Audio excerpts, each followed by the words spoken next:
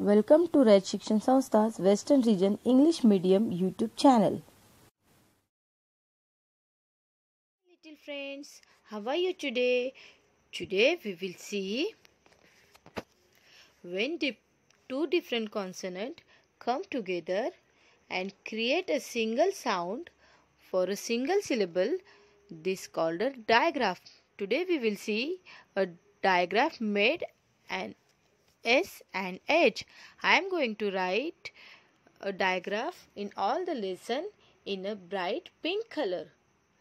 So we will read the pink letter first, the orange letter next, and the blue letter in the end.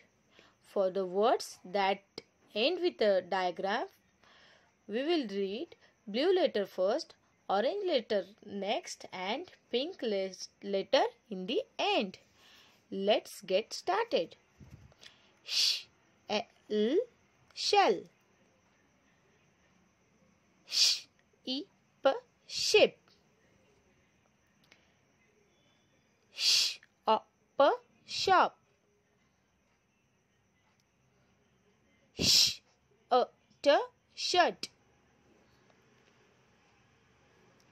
Sh, l, f, shelf. Let's see some more words starting with a sh. Sh, shed. Sh, o, k, shock. Sh, a, m, sham. Sh, e, n, shin. Now let's say some words that end with this digraph. Brush, brush. Cash, cash. Dish, dish. Fish, fish. Eh, mesh, mesh. Eh, crash, crash. Let's read some more such words. Eh, rash, rash. Rush, rush.